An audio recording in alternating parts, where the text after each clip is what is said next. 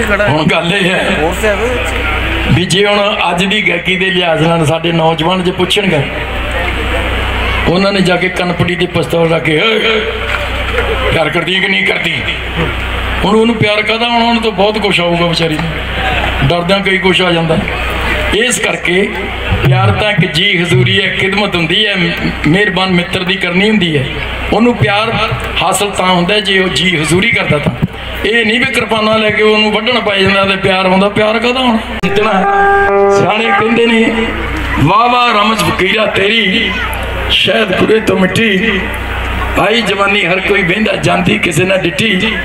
ਤੇ ਇਸ਼ਕ ਨੇ ਹਰਦਮ ਤਾਜ਼ਾ ਰਹਿਣਾ, ਭਾਵੇਂ ਦਾੜੀ ਹੋ ਜੇ ਚਿੱਟੀ। ਕਿ ਬੱਚਿਆਂ ਨੂੰ ਵੀ ਰੋਕਣਾ ਚਾਹੀਦਾ ਹੈ, ਨਸ਼ੇ ਪੱਤੇ ਨਹੀਂ ਕਰਨੇ ਚਾਹੀਦੇ। ਨਸ਼ੇ ਪੱਤੇ ਨਾਲ ਤਾਂ ਘਰ 'ਚ ਕਲੇਸ਼, ਬਹੁਤ ਸਾਰਾ ਗੱਲ ਹੁੰਦਾ ਹੈ।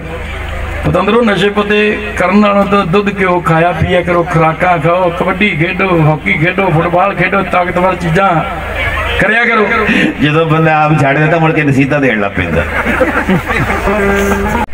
ਸ਼ਾਇਦ ਅੱਜ ਦੀ ਯੰਗ ਪੀੜ੍ਹੀ ਦੇ ਗਾਉਣ ਵਾਲੇ ਨੇ ਜਿਹੜੇ ਉਹ ਕਈ ਵਾਰ ਮਹਿਸੂਸ ਕਰਦੇ ਨੇ ਜਾਂ ਸਿਆਣੇ ਬੰਦੇ ਮਹਿਸੂਸ ਕਰਦੇ ਨੇ ਵੀ ਸਾਡਾ ਵਿਰਸਾ ਛੱਡ ਕੇ ਯਾਰ ਕੱਲਾ ਮਾਰ ਤਾੜ ਆ ਪਸਤੌਲਾਂ ਦੀ ਗਨਾਸਿਆਂ ਦੀ ਤੇ ਸ਼ਵੀਆਂ ਦੀ, ਕਿਰਪਾਨਾਂ ਦੀ, ਬਰਛਿਆਂ ਦੀ ਪਿਸਟਲਾਂ ਦੀ, ਅਸਾਲਟਾਂ ਦੀ ਗੱਲ ਚੱਲਦੀ ਹੈ ਗਾਣਿਆਂ ਦੇ ਵਿੱਚ।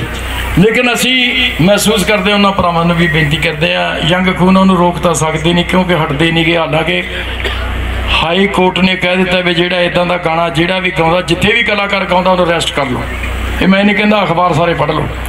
ਕਹਿਣ ਤੋਂ ਫਿਰ ਵੀ ਨੌਜਵਾਨਾਂ ਦਾ ਖੂਨ ਉਹ ਹਟਦੇ ਹੀ ਨਹੀਂ ਕਿ ਉਹ ਕੋਈ ਹਾਈ ਕੋਰਟ ਨੂੰ ਕੀ ਮੰਨਦੇ, ਜਦੋਂ ਆਪਦੇ ਪ- ਮਾਂ ਪਿਓ ਦੇ ਨਹੀਂ ਮੰਨਦੇ, ਉਹਨਾਂ ਵਾਸਤੇ ਹਾਈ ਕੋਰਟ ਤੋਂ ਮਾਂ ਪਿਓ ਦੇ ਉੱਤੇ ਲਓ, ਗੱਲ ਕਰਦੇ ਆ ਵਿਰਸੇ ਦੀ। ਵੀ ਪਹਿਲਾਂ ਸਾਡੇ ਯਾਰ ਸਾਡੀਆਂ ਭੈਣਾਂ ਵੀ ਜਾਣਦੀਆਂ ਨੇ, ਜੋ ਸਾਡੇ ਕੀ ਉਮਰ ਦੀਆਂ ਨੇ। ਵੀ ਪਹਿਲਾਂ ਲੋਕ ਬਰਾਤਾਂ ਆਉਣੀਆਂ ਦੋ ਦੋ ਦਿਨ ਤਿੰਨ ਤਿੰਨ ਦਿਨ ਬਰਾਤਾਂ ਰਹਿਣੀਆਂ। ਚਲੋ ਕੁਝ ਸਹੂਲਤਾਂ ਚੰਗੀਆਂ ਵੀ ਨੇ ਕੁਝ ਵਿੱਚ ਚੰਗੀਆਂ ਨਹੀਂ ਵੀ। ਉਦੋਂ ਜਨ ਬੰਨ ਕੇ ਰੋਟੀ ਖਾਣੀ। ਜਨ ਬੰਨ ਦੇਣੀ ਅਗਲੇ ਦੋ ਦੋ ਘੰਟੇ ਬੈਠੇ ਰਹਿਣਾ, ਭੁੱਖੇ ਕਈਆਂ ਦੇ ਤਾਂ ਲਾਹਾਂ ਡਿੱਗ ਪੈਂਦੀਆਂ ਸੀ ਵੀ ਜਨ ਕੌਣ ਛਡਾਊਗਾ ਤੇ ਕਦੋਂ ਰੋਟੀ ਖਾਵਾਂਗੇ। ਫਿਰ ਜਾਗੋ ਨਾਨਕੇ ਮੇਲ ਆਉਣੇ, ਜਾਗੋ ਕੱਢਣੀਆਂ, ਛੱਜ ਭੰਨਣੇ, ਇਹ ਸਾਰੇ ਆਪਣੇ ਰੀਤੀ ਰਿਵਾਜਾਂ ਸੀ।